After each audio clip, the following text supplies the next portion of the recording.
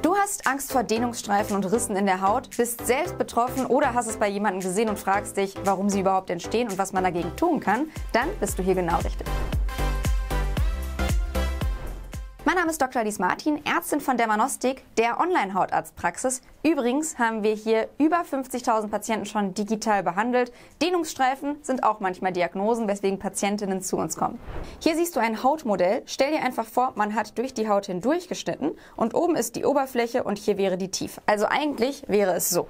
Im oberen Bereich haben wir die sogenannte Epidermis, die Oberhaut. Der Riss findet meistens nicht hier, sondern eine Etage tiefer statt. Hier haben wir nämlich sogenannte Kollagen- und elastische Fasern und diese wie bei einem Haargummi, das ausleiert, reißen und gehen auseinander. Plötzlich schimmern die Blutgefäße durch und an der Oberfläche erkennt man dann so einen schimmernden Riss. Was bedeutet das jetzt genau für dich? Es gibt Stellen, wo das häufiger auftritt und Stellen, wo das seltener auftritt. Am häufigsten betroffen sind die Stellen, die stark wachsen, gerade wenn man viel Sport macht, ins Fitnessstudio geht oder aber auch zunimmt. Und das bedeutet hier im Bereich der Oberarme, aber auch im Bereich des Bauches und der Oberschenkel. Das sind Stellen, die schnell und viel wachsen. Die Haut kommt nicht richtig nach und deswegen reißt sie.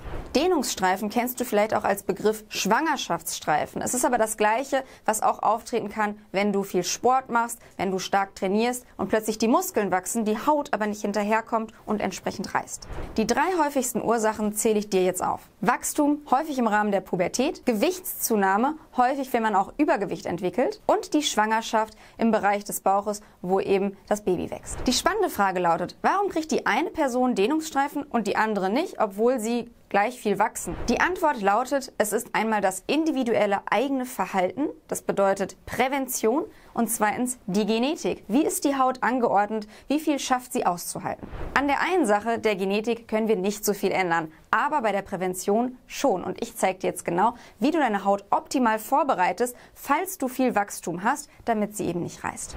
Die optimale Vorbereitung findet statt, indem du die Haut gut eincremst, aber insbesondere massierst. Du willst nämlich in der Tiefe die Kollagen Kollagenfasern ein bisschen aufweichen und lockern, damit sie nicht plötzlich auseinanderreißen. Das bedeutet, du führst folgendes durch. Mach doch direkt mal mit. Nimm einfach deinen Daumen und Zeigefinger, geh an die Stelle, wo du vielleicht Wachstum vermutest, am Bauch oder im Bereich der Oberarme und zieh jetzt einfach die Hautpartie langsam nach oben, bis sie entgleitet und das ist die Zupfmassage. Das machst du natürlich an der ganzen Partie, dauert es um die fünf Minuten. Das, was passiert, ist, dass die Kollagenfasern sich neu sortieren und ein Riss im Verlauf unwahrscheinlicher wird. Und jetzt kommt der zweite aktive Part. Teile es einfach deinen Freunden mit. Die meisten wissen nichts davon und vielleicht freuen sie sich, wenn sie im Verlauf keine Dehnungsstreifen bekommen. Falls übrigens deine Freundin oder dein Freund auch noch sonst was an der Haut hat, haben wir auch eine Hautarztpraxis online. Hier erreichst du uns 24-7 mit unseren Hautärztinnen.